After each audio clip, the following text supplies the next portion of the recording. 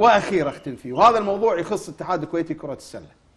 يعني اليوم إحنا لما لما آه، نوجه عتبنا الإخوان في الاتحاد الكويتي كره القدم ولجنة الانضباط وشفنا يمكن قبل آه، قبل يومين إحصائية خاصة في لجنة الانضباط وكنت أتمنى وقتها بعد ال- ال- الإحصائية اللي انعرضت في حساب آه، الديربي إن يعني كنت أتمنى من الأخ نواف الهزاع الأخ العزيز الفاضل والإخوان اللي معاه أعضاء اللجنة يقدمون استقالتهم صراحة لكن تفاجأت إن يعني رغم نشر الإحصائية اللي تبين إن القرارات اللي قاعد تصدر من لجنة الانضباط ما في أي لائحة أي مادة قاعد يتخذ فيها العقوبة.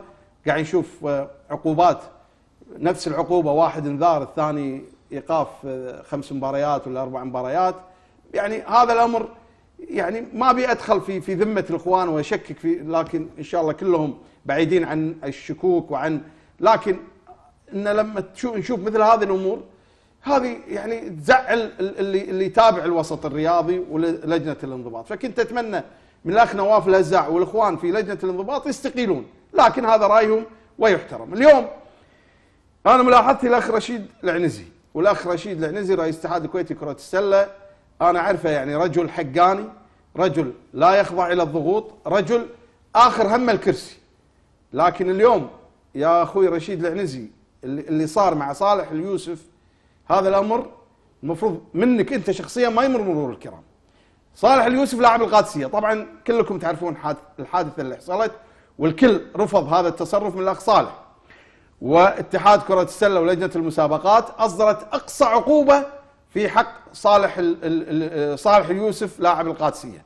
وطبعا هذه عقوبة مستحقة لأن ما بدر من صالح لا يمكن ان ان إن يعني آه، آه، أحد يدافع عنه صراحة. لكن آه، لجنة المسابقات حولت الأمر إلى الاتحاد الكويتي لكرة القدم بعد إصدار الاتحاد الكويتي لكرة السلة بعد إصدار العقوبة. ال- ال- ال- طبعا العقوبة تخيلوا يا أخوان آه، 17 11 2021 ها 17 11 2021 حسب ما أنا مع علمي يا أخوي رشيد العنزي إن الاتحاد الكويتي كره السلة رفض أن يصدر أي عقوبة حسب ما أنا مع العلم لأن أنتم محتاجين اللاعب وتبونه حق دورة الخليج اللي بتصير في الكويت كانت المفترض في شهر واحد في دورة الألعاب الأولمبية. آه، لكن بعد صدور قرار بتأجيل هذه الدورة نما إلى علمي إن الاتحاد أصدر عقوبته بإيقاف اللاعب صالح يوسف آه، حتى نهاية الموسم. يعني هذا الأمر يا أستاذ رشيد العنزي إذا كان هالكلام صحيح يعني أنت اليوم لما تحتاج اللاعب حق المنتخب آه، آه، آه، تغض النظر عن العقوبة عشان أنا محتاجه حق المنتخب إذا أنت عندك مبدأ يا أستاذ رشيد منتخب يمثل الكويت يبي يروح يلعب في كأس العالم مو دورة الخليج كأس العالم. أنت عندك مبدأ أطبقه. اللاعب أخطأ عقوبته تستحق حتى نهاية الموسم أطبقها. أعلن عن العقوبة.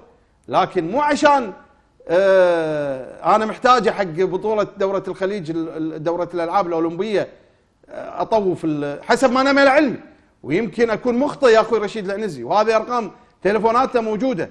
لكن إحنا ما نرضى ما نرضى إن إن لاعب يحوش هذا الأمر. السبب الرئيسي في إن هذا اللاعب أو ظلمه أو أو مو ظلمه إن إن إن آه، خطأه إنه يمثل نادي القادسية. هذا مو حال ترى يا أخوي رشيد. يعني لاعبين القادسية تبيهم يعني كل لاعب القادسية مثلا بالقادسية ينتقل مثلا تبيه يروح نادي آخر عشان ما ي... ما تصدر عليه عقوبات ولا ما يتعرض لعقوبات.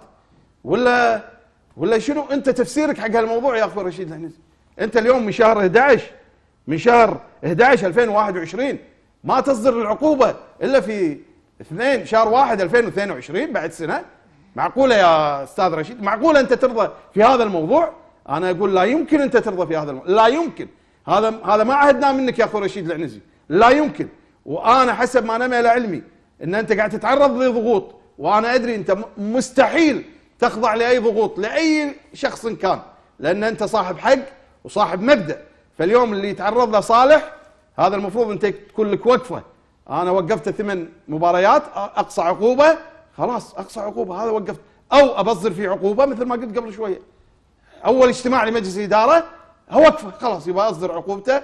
أوقفه سنة سنتين. أشطبه نهائيا. كيفكم؟ لكن تتعاملون مع لاعب عشان يمثل نادي القادسيه بهذه الطريقة؟ لا لا الأمر ما ما يرضيك يا أخوي رشيد العنزي. وأنت أنت شخصيا المفروض ما ترضى.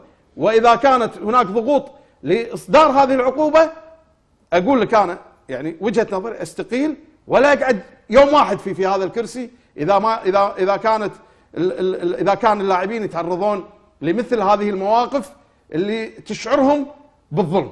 فأتمنى تكون منصف يا أخو رشيد العنزي وتوقف مع الحق وتكون صاحب مبدأ في هذه ال ال